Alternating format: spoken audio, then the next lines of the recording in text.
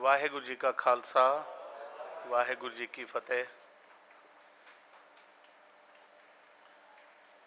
ਆਪ ਜੀ ਸਭ ਦਾ ਬਹੁਤ ਬਹੁਤ ਸਵਾਗਤ।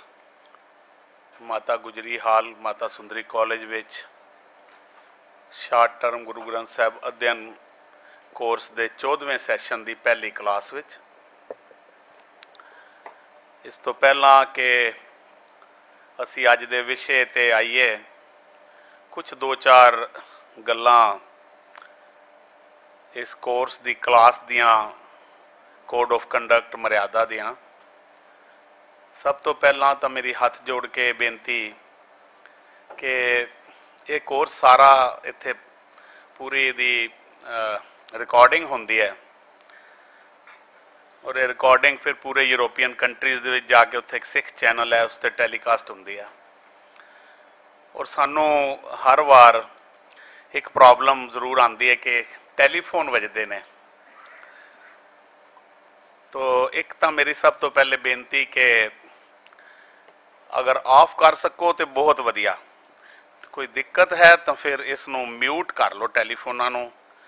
ਉਹਦੇ ਨਾਲ ਕੀ ਹੁੰਦਾ ਕਿ ਜਦੋਂ ਚਲਦੇ ਲੈਕਚਰ ਵਿੱਚ ਟੈਲੀਫੋਨ ਵੱਜਦੇ ਨੇ, ਇੱਕ ਤਾਂ ਜਿਹੜੇ ਲੈਕਚਰਰ ਸਹਿਬਾਨ ਨੇ, ਵਕਤਾ ਸਹਿਬਾਨ ਨੇ, ਉਹਨਾਂ ਦੀ ਅਟੈਂਸ਼ਨ ਡਾਇਵਰਟ ਹੁੰਦੀ ਹੈ ਔਰ ਤੁਹਾਡੇ ਵੀ ਜਿਹੜੇ ਆਸ-ਪਾਸ ਬੈਠੇ ਹੁੰਦੇ ਨੇ, ਤਾਂ ਪੂਰੀ ਕਲਾਸ ਦੇ ਵਿੱਚ ਉਸ ਨਾਲ ਡਿਸਟਰਬ ਆ ਜਾ, ਡਿਸਟਰਬੈਂਸ ਆ ਜਾਂਦੀ ਹੈ। ਹੁੰਦਾ ਹੈ ਕਿ ਅਸੀਂ ਸੈਚਰਡੇ, ਸੰਡੇ ਸਾਡੀਆਂ ਕਲਾਸਿਸ ਨੇ, ਸੈਚਰਡੇ ਦਾ ਟਾਈਮ ਤੁਹਾਨੂੰ ਸਭ ਨੂੰ ਪਤਾ ਹੈ 2:30 ਵਜੇ ਔਰ ਸੰਡੇ 11 ਵਜੇ।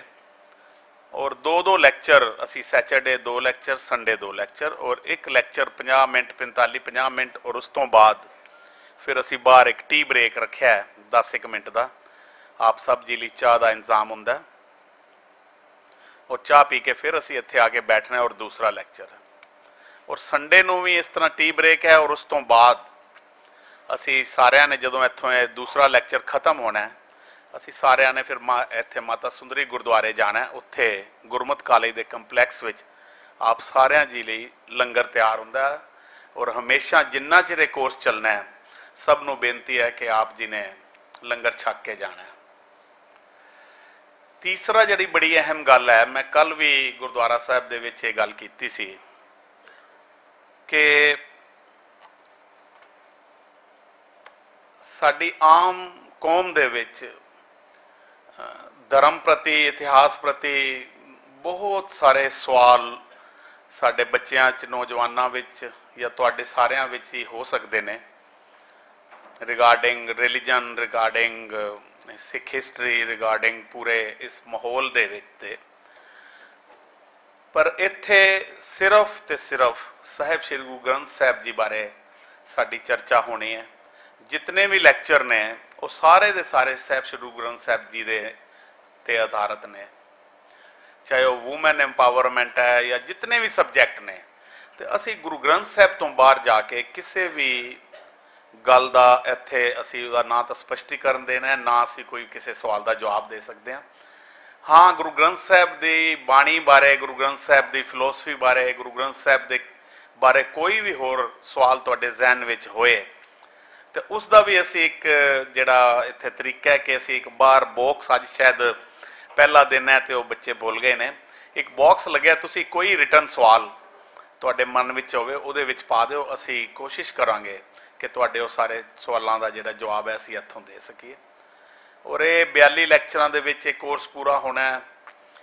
ਮੋਸਟਲੀ ਤੁਹਾਨੂੰ ਅਸੀਂ ਸ਼ਾਇਦ 60% 65% ਦੇ ਕਰੀਬ ਲੈਕਚਰ ਜਿਹੜੇ ਕੁਝ ਸਾਡੇ ਕੋਲ ਰਿਟਰਨ ਮਟੀਰੀਅਲ ਹੁੰਦਾ, ਉਹ ਤੁਹਾਨੂੰ ਅਸੀਂ ਡਿਸਟ੍ਰੀਬਿਊਟ ਕਰਾਂਗੇ। ਜਿਵੇਂ ਅੱਜ ਦਾ ਜਿਹੜਾ ਲੈਕਚਰ ਹੈ, ਇਹ ਤੁਹਾਨੂੰ ਸ਼ਾਇਦ ਟੀ ਬ੍ਰੇਕ ਵਿੱਚ ਉਹ ਡਿਸਟ੍ਰੀਬਿਊਟ ਕਰ ਦੇਣਗੇ। ਤੋ, ਦੂਸ, ਤੀਸਰੀ ਗੱਲ ਜਿਹੜੀ ਹੈ ਕਿ ਜਦੋਂ ਇਹ ਖਤਮ ਹੋਏਗਾ, ਉਸ ਤੋਂ ਬਾਅਦ ਅਸੀਂ ਇੱਕ ਰਿਟਨ ਟੈਸਟ ਰੱਖਿਆ ਹੈ। ਔਰ ਉਸ ਫਿਰ ਟੈਸਟ ਦੇ ਉੱਤੇ ਰਿਗਾਰਡਿੰਗ ਦਿਸ ਫੁੱਲ ਕੋਰਸ ਜਿਹੜਾ ਵੀ ਕੋਰਸ ਤੁਹਾਡੀਆਂ ਕਲਾਸਿਸ ਹੋਣਗੀਆਂ। ਇਹਨਾਂ ਨਾਲ ਹੀ ਸੰਬੰਧਿਤ। ਅਸੀਂ ਇੱਕ ਛੋਟਾ ਜਿਹਾ ਐਗਜ਼ਾਮ ਰੱਖਿਆ ਡੇਢ ਦੋ ਘੰਟੇ ਦਾ ਬਸ। ਕਿਉਂਕਿ ਸਾਡਾ ਮੰਨਣਾ ਹੈ ਕਿ ਜਿਹੜੀ ਚੀਜ਼ ਤੁਸੀਂ ਸੁਣਦੇ ਹੋ, ਅਗਰ ਉਹ ਤੁਸੀਂ ਲਿਖ ਲਓ, ਤੇ ਉਹ ਸਿੱਧੀ ਤੁਹਾਡੇ ਜ਼ਿਹਨ ਦੇ ਵਿੱਚ ਉਹਦਾ ਜਿਹੜਾ ਕਹਿੰਦੇ ਨੇ ਲੌਕ ਹੋ ਜਾਂਦੀ ਹੈ। ਤਾਂ ਉਸ ਟੈਸਟ ਦੇ ਆਧਾਰਿਤ ਫਿਰ ਅਸੀਂ ਥੋੜੀ ਜੀ ਮੈਰਿਟ ਲਿਸਟ ਬਣਾ ਕੇ ਸਰਟੀਫਿਕੇਟ ਅਸੀਂ ਸਭ ਨੂੰ ਦਿੰਨੇ ਆ ਜਿਹੜੇ ਵੀ ਜੁਆਇਨ ਕਰਦੇ ਨੇ। ਔਰ ਟੈਸਟ ਜਿਹੜਾ ਹੈ, ਉਹ ਜਿਹੜੇ ਲੈ- ਜਿਹੜੇ- ਜਿਹੜੇ ਮੈਰਿਟ ਲਿਸਟ ਚ ਆਉਂਦੇ ਨੇ, ਉਸ ਹਿਸਾਬ ਫਿਰ ਅਸੀਂ ਉਹਨਾਂ ਨੂੰ ਜਿਵੇਂ ਕੱਲ ਆਨਰ ਕੀਤਾ ਇਸ ਤਰ੍ਹਾਂ ਅਸੀਂ ਆਨਰ ਕਰਦੇ ਹਾਂ। ਤੋ ਅੱਜ ਦੇ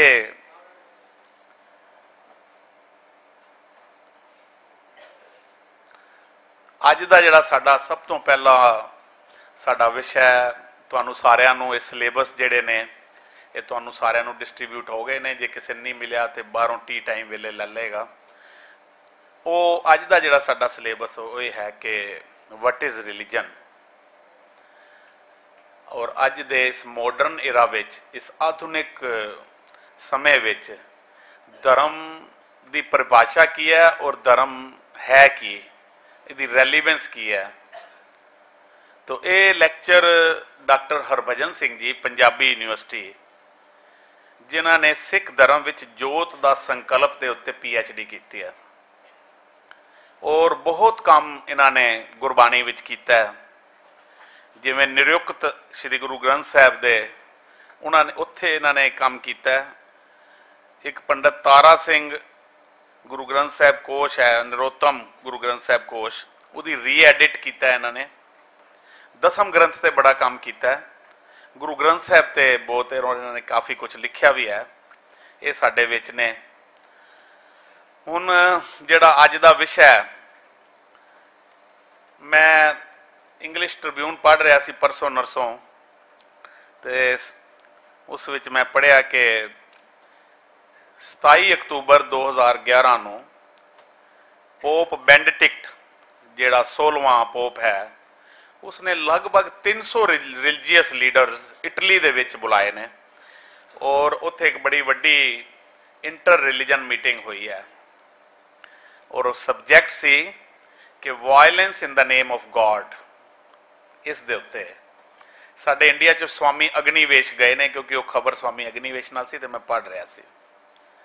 ਕਿ journey of reflection dialogue and prayer for peace and justice in the world ਹੁਣ ਜਿਹੜੇ ਧਰਮ ਨੂੰ ਮੰਨਦੇ ਨੇ, ਉਹਨਾਂ ਦੇ ਮਨਾਂ ਦੇ ਵਿੱਚ ਖਾਸ ਕਰਕੇ ਸਾਡੇ ਬੱਚਿਆਂ ਤੇ ਨੌਜਵਾਨਾਂ ਵਿੱਚ ਜਿਹੜੀ ਅੱਜ ਬੜੀ ਵੱਡੀ ਇੱਕ ਚਿੰਤਾ ਚੱਲ ਚੱਲ ਰਹੀ ਹੈ ਸਾਡੇ ਵਿੱਚ।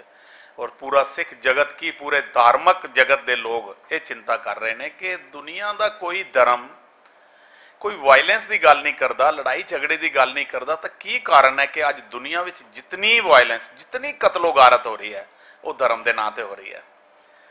ਇਹਦਾ ਸਿੱਧਾ ਤੇ ਸਪਸ਼ਟ ਮਤਲਬ ਹੈ ਕਿ ਕਿੱਥੇ ਨਾ ਕਿੱਥੇ ਸਾਡਾ ਪ੍ਰੀਚਿੰਗ ਸਿਸਟਮ ਧਰਮਾਂ ਦਾ, ਚਾਹੇ ਉਹ ਸਿੱਖ ਧਰਮ ਹੈ, ਚਾਹੇ ਹਿੰਦੂ ਧਰਮ ਹੈ, ਚਾਹੇ ਇਸਲਾਮ ਹੈ, ਕਿੱਥੇ ਨਾ ਕਿੱਥੇ ਪ੍ਰੀਚਿੰਗ ਵਿੱਚ ਕੋਈ ਪ੍ਰੋਬਲਮ ਹੈ। ਕਿ ਅਸੀਂ ਆਪਣੇ ਬੱਚਿਆਂ ਨੂੰ, ਨੌਜਵਾਨਾਂ ਨੂੰ ਧਰਮ ਦੇ ਬਾਰੇ ਅਸਲੀ ਜਿਹੜੀ ਉਹਦੀ ਐਸੈਂਸ ਹੈ ਜਾਂ ਧਰਮ ਦੀ ਜਿਹੜੀ ਅਸਲੀ ਫਿਲਾਸਫੀ ਹੈ, ਅਸੀਂ ਸਮਝਾ ਨਹੀਂ ਪਾ ਰਹੇ। ਤਾਂ ਸਾਡਾ ਚਿੱਤ ਕੀਤਾ, ਅਸੀਂ ਜਦੋਂ ਇਹ ਇਹ ਕੋਰਸ ਸਾਰਾ ਅਸੀਂ ਸੋਚ ਰਹੇ ਸੀ ਕਿ ਇਹ ਕੋਰਸ ਅਸੀਂ ਕਿਸ ਤਰ੍ਹਾਂ ਕਰੀਏ। ਤੇ ਸਭ ਤੋਂ ਪਹਿਲਾ ਸਾਡਾ ਜਿਹੜਾ ਸਬਜੈਕਟ ਸੀ, ਅਸੀਂ ਇਹ ਕਿਹਾ ਕਿ ਇਹ ਜਿਹੜਾ ਧਰਮ ਦਾ ਸਬਜੈਕਟ ਹੈ, ਇਸ ਨੂੰ ਅਸੀਂ ਲਿਆਈਏ। ਕਿਉਂਕਿ ਇੱਕ ਮਨੁੱਖ ਹੀ ਐਸਾ ਹੈ ਜਿਹੜਾ ਕਹਿੰਦੇ ਨੇ ਕਿ ਸਮਾਜ ਬਣਾ ਕੇ ਰਹਿਣ ਦੀ, ਰਹਿਣ ਕੇ ਜੀਣਾ ਚਾਹੁੰਦਾ ਹੈ। ਔਰ ਉਸ ਸਮਾਜ, ਉਹ ਚੰਗਾ ਸਮਾਜ ਤਦ ਹੀ ਬਣ ਸਕਦਾ ਹੈ ਕਿ ਜੇ ਕਿਸੇ ਕਾਇਦੇ ਕਾਨੂੰਨ ਤੇ ਮਨੁੱਖ ਚੱਲੇ। ਔਰ ਕਾਇਦੇ ਕਾਨੂੰਨ ਤਦ ਹੀ ਸਫਲ ਹੋ ਸਕਦੇ ਨੇ ਜੇ ਕੋਈ ਪੋਲੀਟੀਕਲ ਸਿਸਟਮ ਜਾਂ ਕੋਈ ਰਾਜ ਹੋਵੇ, ਕੋਈ ਡਰ ਹੋਵੇ, ਤਾਂ ਹੀ ਲੋਕ ਬੰਦਾ ਜਿਹੜਾ ਉਹ ਕਾਇਦੇ ਕਾਨੂੰਨ ਤੇ ਚੱਲੇਗਾ।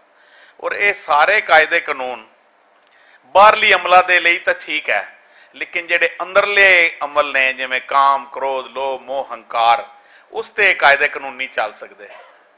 ਤਾਂ ਉਹਨਾਂ ਨੂੰ ਕੰਟਰੋਲ ਕਰਨ ਲਈ ਕੋਈ ਐਸੀ ਤਾਕਤ ਜਾਂ ਐਸਾ ਜ਼ੋਰ ਜ਼ਰੂਰ ਚਾਹੀਦਾ ਹੈ। ਔਰ ਉਹ ਜਿਹੜੀ ਤਾਕਤ ਹੈ, ਉਹਨਾਂ ਅੰਦਰਲਿਆਂ ਨੂੰ ਕਾਬੂ ਕਰਨ ਵਿੱਚ ਉਹ ਉੱਥੇ ਧਰਮ ਦੀ ਜ਼ਰੂਰਤ ਪੈਂਦੀ ਹੈ।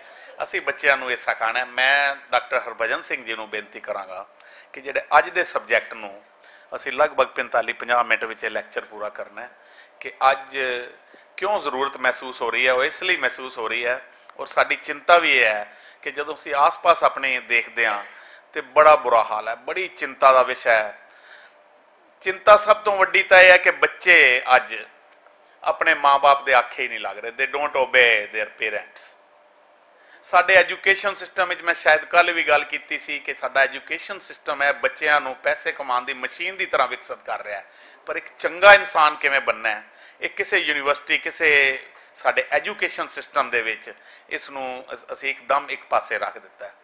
ਤੋ ਇਸ ਲਈ ਚੰਗੇ ਸਮਾਜ ਲਈ, ਚੰਗੀ ਕੌਮ ਲਈ ਅਸੀਂ ਚਾਹਿਆ ਕਿ ਇਹ ਸਬਜੈਕਟ ਜਿਹੜਾ ਹੈ, ਇਹ ਅਸੀਂ ਸਭ ਤੋਂ ਪਹਿਲਾਂ ਹੀ ਰੱਖੀਏ। ਮੈਂ ਡਾਕਟਰ ਭਜਨ ਸਿੰਘ ਜੀ ਨੂੰ ਬੇਨਤੀ ਕਰਾਂਗਾ ਕਿ ਉਹ ਆ ਕੇ ਆਪਣੀ ਗੱਲ ਕਰਨ। ਜੀ, ਆਓ ਜੀ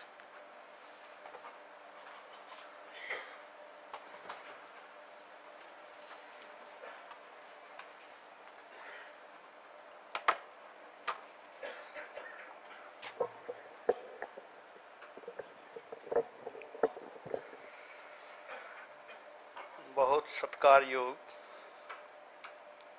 ਪਰਮ ਪਿਆਰੇ ਗੁਰਮਤਿ ਕਾਲਜ ਦੇ ਚੇਅਰਮੈਨ ਸਰਦਾਰ ਹਰਿੰਦਰਪਾਲ ਸਿੰਘ ਜੀ ਅਤੇ ਤਤਵ ਗਿਆਨ ਦੀ ਅਭਿਲਾਸ਼ਾ ਲੈ ਕੇ ਇਸ ਸਮਾਗਮ ਵਿੱਚ ਆਏ ਪਰਮ ਵੇਖੀ, ਪਰਮ ਪ੍ਰਬੁੱਧ ਗਿਆਨ ਜਿਗਿਆਸੂ ਜੀ, ਵਾਹਿਗੁਰੂ ਜੀ ਕਾ ਖਾਲਸਾ, ਵਾਹਿਗੁਰੂ ਜੀ ਕੀ ਫਤਿਹ।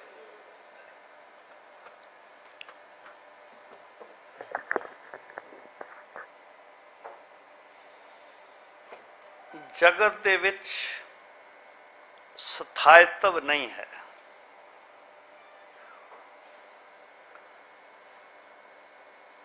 ਅਸਥਿਰਤਾ ਹੈ, ਅਸਥਾਈਪਨ ਹੈ,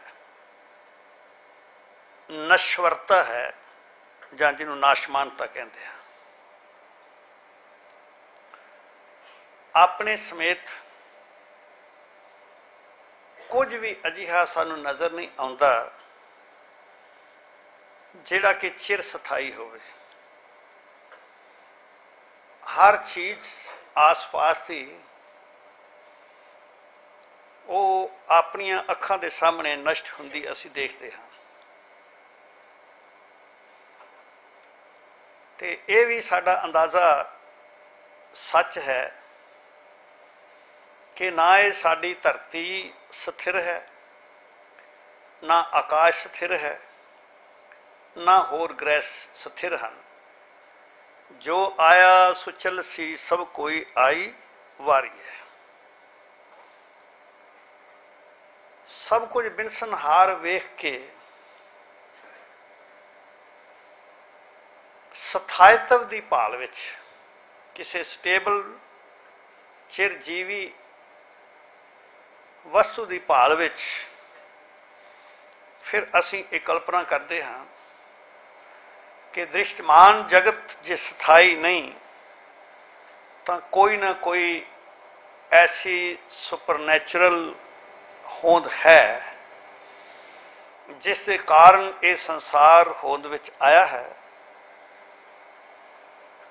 ਬਲਕਿ ਉਹਦੇ ਵਿੱਚੋਂ ਨਿਕਲਿਆ ਹੈ ਤੇ ਉਹਦੇ ਵਿੱਚ ਹੀ ਜਾ ਕੇ ਮਿਲ ਜਾਵੇਗਾ। ਉਹ ਨਾਸ਼ਮਾਨ ਨਹੀਂ, ਉਹ ਸਤ ਹੈ।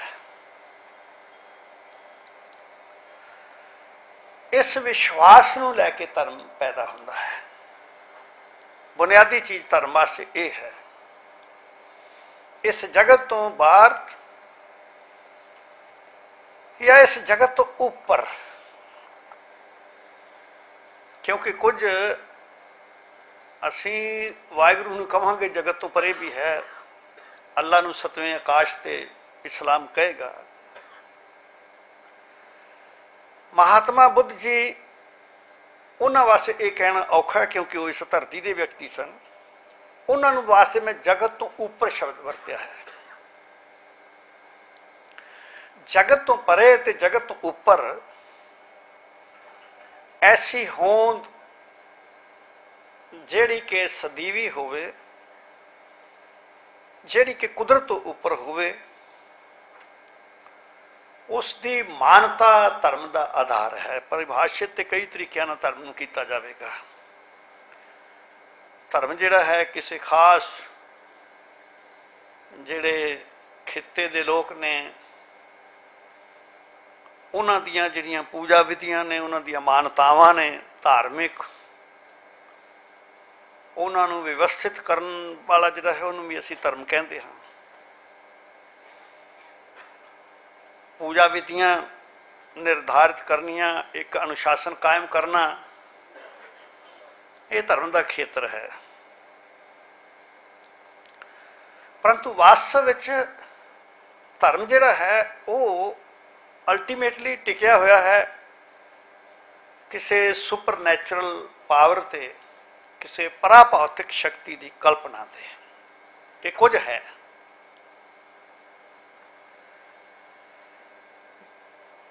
ਫਿਰ ਉਹ ਜੋ ਹੈ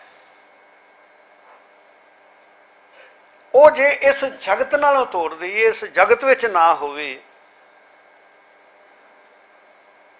ਤਾਂ ਵੀ ਔਖਾ ਹੈ।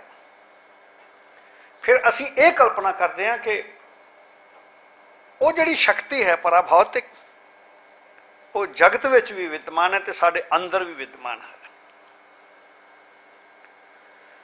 ਉਹ ਸਥਾਇਤਵ ਜਿਹੜਾ ਬਾਹਰ ਨਜ਼ਰ ਨਹੀਂ ਆਉਂਦਾ ਉਸ ਨੂੰ ਅੰਦਰ ਢੂੰਡਣ ਦਾ ਯਤਨ ਕਰਦੇ ਹਾਂ। ਤੇ ਉਸ ਭਾਲ ਦੇ ਵਿੱਚ ਜਦੋਂ ਮਾਰਗਦਰਸ਼ਕ ਸਾਡੇ ਮਹਾਨ ਪੁਰਸ਼ ਬਣਦੇ ਨੇ, ਜਿਨ੍ਹਾਂ ਨੇ ਇਹ ਸਥਾਇਤਵ ਢੂੰਡਿਆ ਹੈ, ਤਾਂ ਉਹ ਸਾਨੂੰ ਇਹ ਸਮਝਾਉਂਦੇ ਨੇ ਕਿ ਬਾਹਰਲਾ ਤੇ ਅੰਦਰਲਾ ਸਥਾਇਤਵ ਸਥਿਰਤਾ ਜਿਹੜੀ ਹੈ, ਇਸ ਨੂੰ ਇੱਕਮਿਕ ਕਰਨ ਦੇ ਨਾਲ ਜੇ ਬਾਹਰ ਸਥਾਇਤਵ ਨਹੀਂ ਹੈ, ਤਾਂ ਅੰਦਰ ਵੀ ਅਸ਼ਾਂਤ ਹੋਵੇਗਾ। ਜੇ ਅੰਦਰ ਅਸ਼ਾਂਤ ਹੈ ਤਾਂ ਬਾਹਰਲਾ ਵਾਤਾਵਰਨ ਵੀ ਸਾਡੇ ਕਿਸੇ ਕੰਮ ਦਾ ਨਹੀਂ। ਇਹ ਜਿਹੜੀ ਇਹ ਸਾਰਾ ਪ੍ਰੋਸੈਸ ਹੈ ਸਥਾਇਤਵ ਸਥਿਰਤਾ, ਅਮਰਤਾ ਲੱਭਣ ਦਾ ਉਸ ਨੂੰ ਵਿਵਸਥਿਤ ਜਿਸ ਤਰੀਕੇ ਨਾਲ ਕਰਦੇ ਹਾਂ, ਉਹਨੂੰ ਅਸੀਂ ਧਰਮ ਕਹਿੰਦੇ ਹਾਂ। ਧਰਮ ਜਿਹੜਾ ਹੈ ਸ਼ਬਦ ਸੰਸਕ੍ਰਿਤ ਵਿੱਚ ਤ੍ਰੀ ਧਾਤੂ ਤੋਂ ਨਿਕਲਦਾ ਹੈ, ਜੋ ਚੀਜ਼ ਧਾਰਨ ਕਰਨ ਵਾਲੀ ਹੈ। ਰਿਲੀਜਨ ਦੇ ਅਰਥ ਜਿਹੜੇ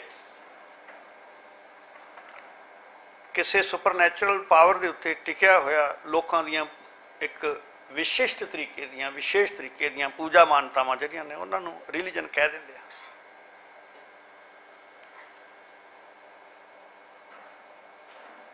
ਹੁਣ ਸਥਿਰਤਾ, ਸਥਾਇਤ, ਅਮਰਤਾ, ਇਸ ਦੀ ਭਾਲ ਵਕਤੀ ਨਹੀਂ ਹੋ ਸਕਦੀ।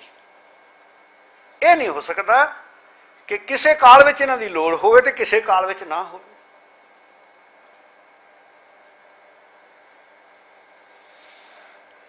ਜਿਸ ਚੀਜ਼ ਨੇ ਅਮਰਤਾ ਦੇ ਦਰਸ਼ਨ ਕਰਾਣੇ ਨੇ ਜਿਸ ਚੀਜ਼ ਨੇ ਸਥਾਇਤਵ ਸਾਡੇ ਅੰਦਰ ਟਿਕਾਉਣਾ ਹੈ, ਜਿਸ ਚੀਜ਼ ਨੇ ਸਥਿਰਤਾ ਵੇਖਣ ਦੀ ਦ੍ਰਿਸ਼ਟੀ ਦੇਣੀ ਹੈ,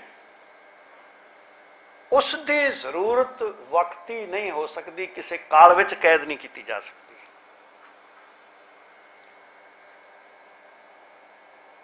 ਕਿਉਂਕਿ ਧਰਮ ਇਹ ਦ੍ਰਿਸ਼ਟੀ ਦਿੰਦਾ ਹੈ ਇਸ ਕਰਕੇ ਧਰਮ ਦੀ ਲੋੜ ਵਕਤ ਹੀ ਨਹੀਂ ਹੋ ਸਕਦੀ ਕਿ ਪਹਿਲਾਂ ਇਹਦੀ ਲੋੜ ਸੀ ਤੇ ਅੱਜ ਦੀ ਲੋੜ ਨਹੀਂ ਹੈ। ਜਿਤਨੀ ਜ਼ਰੂਰਤ ਇਸ ਦੀ ਤਦੋਂ ਸੀ, ਜਦੋਂ ਅਜੇ ਸ਼ਾਇਦ ਇਹ ਧਰਤੀ ਵੀ ਨਾ ਬਣੀ, ਸਿਰਜਣਾ ਸ਼ੁਰੂ ਹੋਈ। ਉਤਨੀ ਹੀ ਇਹਦੀ ਲੋੜ ਤਦੋਂ ਤੱਕ ਰਹੇਗੀ ਜਦੋਂ ਤੱਕ ਧਰਤੀ ਦਾ ਭੋਗ ਨਹੀਂ ਪੈ ਜਾਂਦਾ, ਸਮਾਪਤ ਨਹੀਂ ਹੋ ਜਾਂਦਾ ਕਿਉਂਕਿ ਜਦੋਂ ਕ੍ਰੀਏਸ਼ਨ ਸ਼ੁਰੂ ਹੋਈ, ਤੇ ਵਾਹਿਗੁਰੂ ਦੇ ਸਾਹਮਣੇ ਸੀ ਨਾ, ਇਹਨਾਂ ਨੂੰ ਟਿਕਾਣਾ ਹੈ। ਸਥਿਰਤਾ ਦੇਣੀ ਹੈ, ਕਿਤੇ ਨਾ ਕਿਤੇ ਟਿਕਾ ਦਿੱਤਾ ਹੈ। ਜਦੋਂ ਇਹ ਨਸ਼ਟ ਵੀ ਹੋਏਗੀ, ਤਾਂ ਉਸ ਸਥਿਰ ਤੱਤ ਦੇ ਵਿੱਚ ਵਿਲੀਨ ਹੋ ਜਾਏਗੀ। ਇਸ ਕਰਕੇ ਧਰਮ ਅਨਾਦੀ ਹੈ। ਧਰਮ ਦਾ ਕੋਈ ਆਦ ਤੇ ਅੰਤ ਨਹੀਂ ਹੋ ਸਕਦਾ। ਜਦੋਂ ਅਸੀਂ ਪੱਟਾਂ ਦੇ ਸੋਈਏ ਪੜਦੇ ਹਾਂ, ਤੇ ਅਸੀਂ ਇਹ ਦਰਸ਼ਨ ਕਰਦੇ ਹਾਂ ਵੀ ਤੂੰ ਸਤਿਗੁਰ ਚੌਂ ਜੁਗੀ ਆਪ ਆਪੇ ਪਰਮੇਸ਼ਰ। ਚਾਰੇ ਯੁੱਗਾਂ ਵਿੱਚ ਸਤਿਗੁਰੂ ਵਿਆਪਕ ਰਿਹਾ ਹੈ। ਤੇ ਸਤਿਗੁਰੂ ਕੌਣ ਹੈ? ਧਰਮ ਦਾ ਸਿਰਜਕ। ਇਹਦਾ ਮਤਲਬ ਇਹ ਹੋਇਆ ਧਰਮ ਚਾਰੇ ਯੁੱਗਾਂ 'ਚ ਰਿਹਾ ਹੈ। ਉਹਨੂੰ ਹੋਰ ਪਰਿਭਾਸ਼ਿਤ ਵੀ ਕਰ ਦਿੱਤਾ ਸਮਝਾਉਣ ਵਾਸਤੇ ਇਹ ਵੀ ਕਹਿ ਦਿੱਤਾ ਸਤਜੁਗ ਤੈ ਮਾਨਿਓ ਛਲਿਓ ਬਲ ਭਾਵਨ ਪਾਇਓ ਤ੍ਰੇਤੈ ਤੈ ਮਾਨਿਓ RAM ਰਗਵੰਸ਼ ਕਹਾਇਓ द्वापर कृष्ण मुरार कंस कृतार्थ कियो उग्र सैन को राज अभय भगतै जन दियो कलयुग प्रमाण नानक गुरु अंगद अमर कहायो श्री गुरु राज अब चल अटल आदि पुरख फरमाया ਧਰਮ ਸਦੀਵੀ ਹੈ ਜਿਹੜਾ ਅਸੀਂ ਕਹਿੰਦੇ ਆ ਵੀ ਸਿੱਖ ਧਰਮ ਗੁਰੂ ਨਾਨਕ ਸਾਹਿਬ ਦੇ ਨਾਲ ਅਵਤਰਿਤ ਹੋਇਆ, ਹਜ਼ਰਤ ਮੁਹੰਮਦ ਸਾਹਿਬ ਨਾਲ ਇਸਲਾਮ ਧਰਤੀ ਤੇ ਆਇਆ, ਗੁਰੂ ਜੀ ਪਹਿਲੀ ਗੱਲ ਇਹ ਵੇ ਕਿ ਇਸ ਨੂੰ ਧਰਮ ਮੰਨਦੇ ਹੀ ਨਹੀਂ ਹਨ। ਧਰਮ ਗੁਰਬਾਣੀ ਦੀ ਦ੍ਰਿਸ਼ਟੀ ਤੋਂ ਉਹ ਹੈ, ਜਿਹੜਾ ਕਿ ਮਾਨਵਤਾ ਦਾ ਸਾਂਝਾ ਹੈ। ਸਥਿਰਤਾ ਇਹ ਤੇ ਨਹੀਂ ਨਾ ਵੀ ਸਿੱਖ ਨੂੰ ਚਾਹੀਦੀ ਹੈ ਤੇ ਮੁਸਲਮਾਨ ਨੂੰ ਨਹੀਂ ਚਾਹੀਦੀ। ਉਹ ਤੇ ਸਾਰਿਆਂ ਦੀ ਲੋੜ ਹੈ। ਅਮਰਤਾ ਜਿਹੜੀ ਹੈ ਉਹ ਕੇਵਲ ਇੱਕ ਹਿੰਦੂ ਦੀ ਪ੍ਰੋਬਲਮ ਤੇ ਨਹੀਂ ਹੈ ਨਾ। ਸਾਰਿਆਂ ਵਾਸਤੇ ਜਗਤ ਮਰਨਸ਼ੀਲ ਹੈ। ਸਾਰੇ ਕਿਸੇ ਨਾ ਕਿਸੇ ਰੂਪ ਵਿੱਚ ਅਮਰਤਾ ਕੋਈ ਸਵਰਗ ਵਿੱਚ ਚਾਹੁੰਦਾ ਹੈ। ਤੇ ਕੋਈ ਚਾਹੁੰਦਾ ਕਿ ਰੱਬ ਵਿੱਚ ਵਿਲੀਨ ਹੋ ਜਾਵਾਂ, ਗੱਲ ਤੇ ਉਹ ਹੀ ਹੈ। ਜਾਣਾ ਤੇ ਰੱਬ ਦੀ ਹਜ਼ੂਰੀ 'ਚ, ਸਾਰੇ ਰੱਬ ਦੀ ਹਜ਼ੂਰੀ ਲੋਚਦੇ ਨੇ। ਇਸ ਕਰਕੇ ਜਿਹੜਾ ਧਰਮ ਹੈ ਉਸ ਨੂੰ ਪੰਥਾਂ ਵਿੱਚ ਵਿਭਾਜਿਤ ਕਰਕੇ ਨਹੀਂ ਵੇਖਿਆ ਜਾ ਸਕਦਾ। ਜਿਹੜਾ ਸਿੱਖ ਪੰਥ ਹੈ, ਜਾਂ ਹਿੰਦੂ ਹੈ, ਜਾਂ ਇਸਲਾਮ ਹੈ, ਇਹ ਪੰਥ ਹਨ। ਪੰਥ ਹੁੰਦਾ ਮਾਰਗ, ਰਸਤਾ। ਕਿੱਧਰ ਨੂੰ ਜਾਣ ਵਾਲਾ ਰਸਤਾ, ਧਰਮ ਨੂੰ ਜਾਣ ਵਾਲਾ ਰਸਤਾ। ਧਰਮ ਇੱਕ ਹੈ ਉਸ ਦੀ ਪ੍ਰਾਪਤੀ ਦੇ ਰਸਤੇ ਅਨੇਕ ਹਨ। ਧਰਮ ਸਦੀਵੀ ਹੈ, ਪੰਥ ਕਾਲ ਵਿੱਚ ਹੋ ਸਕਦਾ ਹੈ। ਹਾਲਾਂਕਿ ਮੇਰੀ ਈਗੋ ਇਹ ਨਹੀਂ ਕਹਿੰਦੀ, ਕਹਿਣ ਦਿੰਦੀ ਮੈਨੂੰ ਕਿ ਸਿੱਖ ਪੰਥ ਕਦੇ ਕਦੇ ਨਸ਼ਟ ਹੋ ਸਕਦਾ ਹੈ। ਪਰ ਪੰਥ ਬੜੇ ਆਏ ਤੇ ਨਸ਼ਟ ਹੋਏ।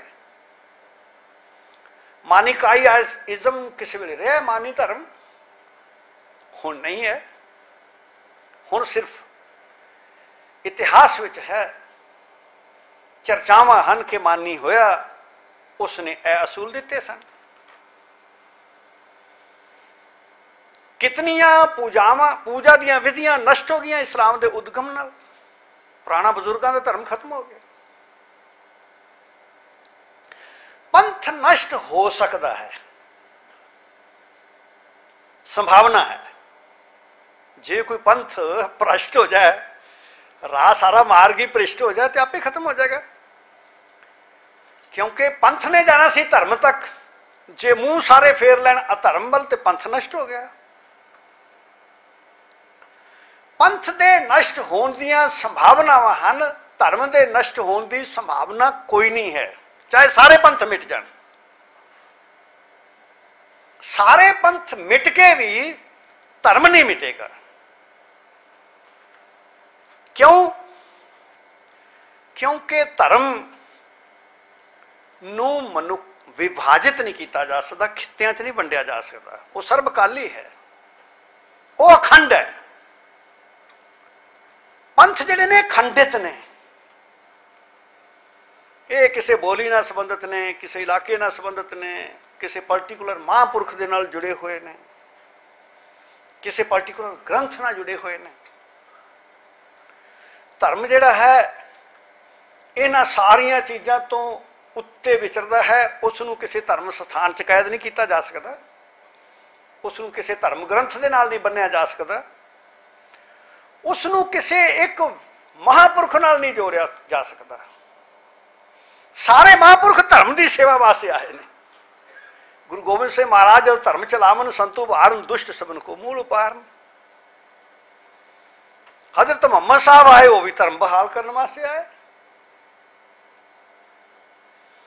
ਇਸਲਾਮ ਤਾਂ ਧਰਮ ਦੀ ਪ੍ਰਾਪਤੀ ਵਾਸਤੇ ਹੈ। ਧਰਮ ਤਾਂ ਉਹ ਕਹਿੰਦੇ, ਸ਼ੁਰੂ ਤੋਂ ਹੀ ਚੱਲਿਆ ਹੁੰਦਾ ਜਿਵੇਂ ਗੁਰੂ ਮਹਾਰਾਜ ਜੀ ਗੁਰੂ ਨੇ ਬਾਣੀ ਵਿੱਚ ਕਿਹਾ, ਜਾਂ ਗੁਰੂ ਜੀ ਦੇ ਵਿਚਾਰਾਂ ਨੂੰ ਲੈ ਕੇ ਭੱਟਾਂ ਦੇ ਸੋਈਆਂ 'ਚ ਕਿਹਾ ਕਿ ਸਤਜੁਗ ਵਿੱਚ ਇਹ ਰੂਪ ਧਾਰਨ ਕੀਤਾ, ਤ੍ਰੇਤੇ ਚ ਇਹ ਧਾਰਿਆ, ਦੁਆਪਰ ਚ ਇਹ ਧਾਰਿਆ, ਕਲਯੁਗ ਚ। ਗੁਰੂ ਨਾਨਕ ਸਾਹਿਬ ਵਾਲਾ ਰੂਪ ਧਾਰ ਲਿਆ। ਉਹ ਗੁਰੂ ਨਾਨਕ ਸਾਹਿਬ ਫਿਰ ਅੱਗੇ 10 ਰੂਪ ਧਾਰਨ ਕਰ ਲਏ। ਠੀਕ ਇਸੇ ਤਰ੍ਹਾਂ ਹਜ਼ਰਤ ਮੁਹੰਮਦ ਸਾਹਿਬ ਕਹਿੰਦੇ ਨੇ ਕਿ ਜਿਤਨੇ ਪੈਗੰਬਰ ਮੇਰੇ ਤੋਂ ਪਹਿਲਾਂ ਆਏ ਨੇ, ਉਹ ਇਸਲਾਮ ਦੀ ਬਹਾਲੀ ਵਾਸਤੇ ਸਨ। ਪਰੰਤੂ ਇਸਲਾਮ ਇਸ ਫਾਰਮ ਵਿੱਚ ਨਹੀਂ, ਧਰਮ ਦੀ ਫਾਰਮ 'ਚ ਉਹ ਧਰਮ ਜਿਹੜਾ ਸਰਬ ਸਾਂਝਾ ਸੀ। ਹਜ਼ਰਤ ਅਬਰਾਹਮ ਵਿੱਚ ਵਿਸ਼ਵਾਸ, ਹਜ਼ਰਤ ਮੂਸਾ ਵਿੱਚ ਵਿਸ਼ਵਾਸ, ਹਜ਼ਰਤ ਨੂਹ ਵਿੱਚ ਵਿਸ਼ਵਾਸ, ਹਜ਼ਰਤ ਇਸਹਾਕ ਵਿੱਚ ਵਿਸ਼ਵਾਸ ਇਸਲਾਮ ਦਾ ਕਰਨ ਦਾ ਮਤਲਬ ਇਹ ਵੀ ਕਿ ਧਰਮ ਤਾਂ ਸਦੀਵ ਕਾਲ ਰਿਹਾ ਹੈ। ਆਦਮ ਤੋਂ ਲੈ ਕੇ ਜਦੋਂ ਤੱਕ ਪਰਲੋ ਨਹੀਂ ਆ ਜਾਂਦੀ, ਕਿਆਮਤ ਆ ਜਾਏਗੀ, ਧਰਮ ਫਿਰ ਵੀ ਰਹੇਗਾ। ਧਰਮ ਫਿਰ ਕਿਵੇਂ ਰਹੇਗਾ? ਕਿ ਧਰਮ ਦੇ ਪੈਰਾਮੀਟਰ ਤੇ ਨਿਆਂ ਕੀਤਾ ਜਾਏਗਾ। ਜਿਸ ਨੇ ਚੰਗੇ ਕਰਮ ਕੀਤੇ ਨੇ, ਧਰਮ ਦੇ ਰਾਹ ਤੇ ਚੱਲਿਆ, ਉਹ ਚੰਗੀ ਉਹਨੂੰ ਸਦਗਤੀ ਪ੍ਰਾਪਤ ਹੋਵੇਗੀ। ਔਰ ਜਿਹੜਾ ਧਰਮ ਦੇ ਰਸਤੇ ਤੇ ਨਹੀਂ ਚੱਲਿਆ, ਉਸ ਦੀ ਦੁਰਗਤੀ ਹੋਵੇਗੀ। ਸੋ ਧਰਮ ਨੂੰ ਟੁਕੜਿਆਂ ਵਿੱਚ ਵਿਭਾਜਿਤ ਕਰਨਾ ਇਹ ਗੁਰੂ ਗ੍ਰੰਥ ਸਾਹਿਬ ਦੀ ਮਤ ਦੇ ਅਨੁਕੂਲ ਨਹੀਂ ਹੈ। ਗੁਰੂ ਗ੍ਰੰਥ ਸਾਹਿਬ ਦੀ ਬਾਣੀ ਇਹ ਸਮਝਾਉਂਦੀ ਹੈ ਕਿ ਧਰਮ ਹਨ ਸਦਗੁਣ। ਸਦਗੁਣਾ ਦਾ ਧਾਰਨ ਕਰਨਾ ਧਰਮ ਹੈ। ਜਿਹੜੇ ਸਦਗੁਣ ਨੇ, ਇਹ ਧਾਰਨ ਕੀਤਿਆਂ ਧਰਮ ਦੀ ਪ੍ਰਾਪਤੀ ਕਿਵੇਂ ਹੁੰਦੀ ਹੈ? ਕਿਉਂ ਧਰਮ ਜਿਹੜਾ ਹੈ ਉਸਨੇ ਅਸਥਿਰਤਾ ਅਸਥਿਰਤਾ ਦਾ ਅਸ਼ਾਂਤੀ ਦਾ ਵਾਤਾਵਰਣ ਖਤਮ ਕਰਨਾ ਹੈ ਸਦਗੁਣ ਧਾਰਨ ਕਰਨ ਨਾਲ ਸਮਾਜ ਵਿੱਚੋਂ ਅਸਥਿਰਤਾ ਖਤਮ ਹੋ ਜਾਏਗੀ ਕਿਉਂਕਿ ਅਸਥਿਰਤਾ ਕਿਉਂ ਹੈ ਅਸੀਂ ਦੁਰਾਚਾਰ ਦੁਰਾਚਾਰ ਕਰਾਂਗੇ ਕੋਈ ਕਿਸੇ ਦੀ ਧੀ ਭੈਣ ਵੱਲ ਮੰਦੀ ਦ੍ਰਿਸ਼ਟੀ ਰੱਖੇਗਾ ਤੇ ਬਦਮਣੀ ਫੈਲ ਜਾਏਗੀ ਅਸਥਿਰਤਾ ਆ ਜਾਏਗੀ ਰਾਜਾ ਮਹਾਰਾਜ, ਮਾੜਾ ਆ ਜਾਏਗਾ, ਸਥਿਰਤਾ ਆ ਜਾਏਗੀ। ਜੇ ਰਾਜ ਚਲਾਉਣ ਵਾਲੇ ਸਦਗੁਣ ਸਦਾਚਾਰ ਵਾਲੇ ਬੰਦੇ ਨੇ, ਤੇ ਅਸਥਿਰਤਾ ਨਹੀਂ ਆਏਗੀ।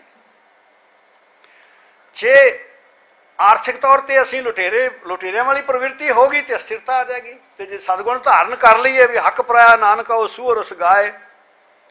ਗੁਰਪੀਰ ਹਾਮਾ ਤਾਂ ਭਰੇ ਜਾਮ ਉਰਦਾਰ ਨਾ ਖਾਏ, ਇਸ ਪ੍ਰਿੰਸੀਪਲ ਤੇ ਚੱਲੀਏ। ਫਿਰ ਦੁਰਗਤੀ ਨੂੰ ਪ੍ਰਾਪਤ ਨਹੀਂ ਹੋਵਾਂਗੇ, ਸਥਿਰਤਾ ਆ ਜਾਏਗੀ, ਸਥਾਇਤਵ ਆ ਜਾਏਗਾ ਇਸੇ ਜਗਤ ਵਿੱਚ, ਜਿਹੜਾ ਕਿ ਸਾਨੂੰ ਨਾਸ਼ਮਾਨ ਦਿਸਦਾ ਹੈ। ਇਹਦੇ ਵਿੱਚੋਂ ਹੀ ਅਮਰਤਾ ਨਜ਼ਰ ਆਉਣ ਲੱਗ ਜਾਏਗੀ। ਇਹਦੇ ਵਿੱਚੋਂ ਜਾਣ ਲੱਗਿਆਂ ਇਹ ਅਹਿਸਾਸ ਹੀ ਨਹੀਂ ਹੋਵੇਗਾ ਕਿ ਇਹ ਮੌਤ ਹੈ। ਇਹ ਲੱਗੇਗਾ ਵੀ ਮੈਂ ਆਇਆ ਸੀ, ਆਪਣੀ ਵਾਰੀ ਪੂਰੀ ਕਰਕੇ ਖੇਡ ਵਿੱਚ ਹਿੱਸਾ ਲੈ ਕੇ ਚਲਿਆ। ਪਰੰਤੂ ਜਦੋਂ ਜਗਤ ਨੂੰ ਸਵਾਰਥ ਦੀ ਦ੍ਰਿਸ਼ਟੀ ਤੋਂ ਦੇਖਦੇ ਹਾਂ ਤਾਂ ਜਗਤ ਜਿਹੜਾ ਹੈ, ਉਸ ਵਿੱਚ ਮੌਤ, ਅਸਥਿਰਤਾ, ਨਾਸ਼ਮਾਨਤਾ, ਅਸਥਾਇਤਵ ਇਹ ਨਜ਼ਰ ਆਉਂਦਾ ਹੈ। ਤੋ ਗੁਰੂ ਮਹਾਰਾਜ ਜੀ ਨੇ ਕਿਹਾ ਕਿ ਸਦਗੁਣ ਦਾ ਧਾਰਨ ਕਰਨਾ ਧਰਮ ਹੈ। ਉਹ ਸਦਗੁਣ ਜਿਹੜੇ ਨੇ ਉਹਨਾਂ ਨੂੰ ਨਹੀਂ ਵੰਡਿਆ ਜਾ ਸਕਦਾ। ਇਸਲਾਮ ਵਿੱਚ ਤੇ ਸਿੱਖੀਜ਼ਮ ਵਿੱਚ ਤੇ ਹਿੰਦੂਇਜ਼ਮ ਵਿੱਚ ਵਿਭਾਜਿਤ ਨਹੀਂ ਕੀਤਾ ਜਾ ਸਕਦਾ। ਸਦਗੁਣ ਸਾਰੀ ਇਨਸਾਨੀਅਤ ਵਾਸਤੇ ਇੱਕੋ ਹੀ ਨੇ। ਸਦਗੁਣਾ ਦੀ ਪ੍ਰਾਪਤੀ ਵਾਸਤੇ ਪੰਥਾਂ ਦੀ ਮਰਿਆਦਾ, ਸੰਗਠਨ ਦੀ ਮਰਿਆਦਾ ਆਪਣੀ ਹੋ ਸਕਦੀ ਹੈ। ਜਿਸ ਨੂੰ ਅਸੀਂ ਧਰਮ ਕਹਿੰਦੇ ਹਾਂ ਇਹ ਤੇ ਵਾਸਤਵ ਵਿੱਚ ਇੱਕ ਸੰਗਠਨ ਹੈ।